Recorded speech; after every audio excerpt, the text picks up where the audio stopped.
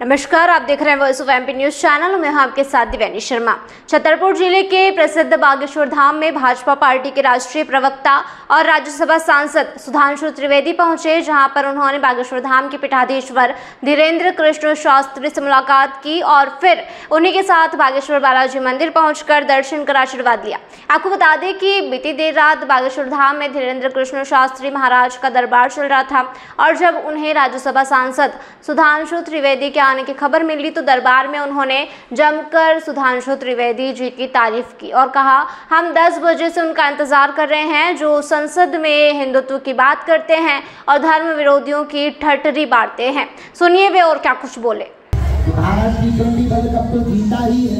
पर आज अपने बागेश्वर धाम पर सब लोग तो आते ही हैं, पूरे विश्व के लोग आते हैं। लेकिन एक हमारे बड़े ही प्रिय, जो भारतीय केवल हिंदी में ही नहीं अपितु सभी भाषाओं के पूरे ग्लोबल का ज्ञान रखने वाले और संसद में ललकार कर हिंदुत्व का परिचय देने वाले हमारे बड़े ही प्यारे भैया सुधांशु त्रिवेदी जी भी आए हुए हैं।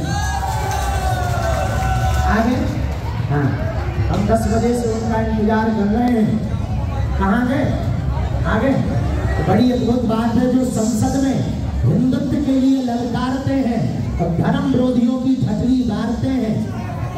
ऐसे हमारे बड़े ही प्यारे, एक बार जोरदार ताली बजा करके दोनों